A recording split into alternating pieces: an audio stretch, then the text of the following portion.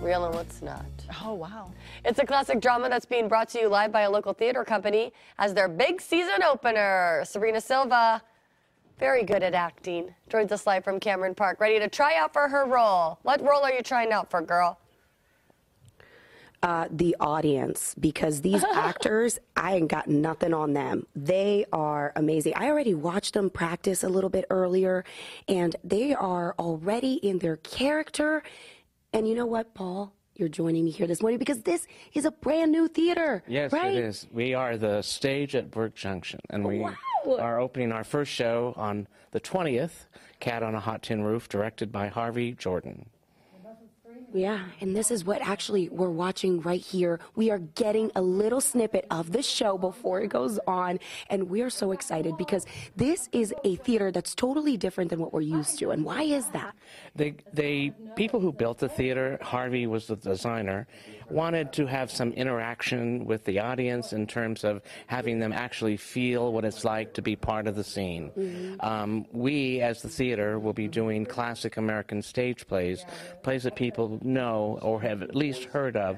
And sometimes, you know, even Cat on a Hot Tin Roof, some regular theater goers have never seen it. So now there's an opportunity to see it in the Sacramento, El Dorado County, Folsom area. Yeah, and you know what? This is just such a great concept. I mean, you have the you're watching it from three sides of the stage, and you're really seeing all of their emotion. Yeah, some of the best productions I've ever seen has been in a theater very similar to this, whether it's been a comedy, a musical, or a drama like like this show now. Yeah. And it's you leave the theater feeling differently.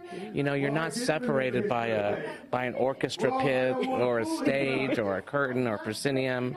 No! Look, look. Oh, oh my I'm goodness! not gonna do anything I don't want to do.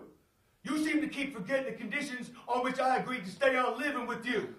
Oh, this is like a soap opera. It's just not in Spanish. Got to accept It's like my telenovelas. Well, then why don't you just... Hush, hush. Who's out there? Is somebody at the door?